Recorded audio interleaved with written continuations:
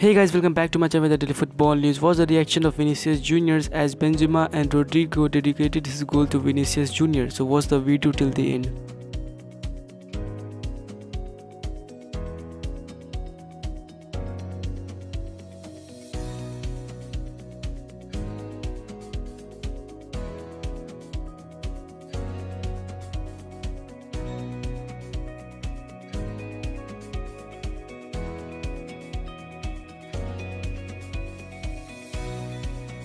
So guys that's it for this video and make sure to subscribe. Thanks for watching.